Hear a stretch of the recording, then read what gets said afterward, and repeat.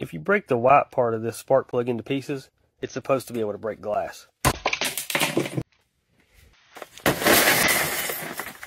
What the heck? That is so cool. Let's see if this could shatter the glass. First, we gotta break, break off the white part, just like that. And then you grab a piece and let's see if this will shatter the glass.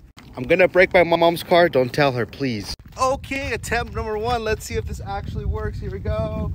Oh! What the? Yo!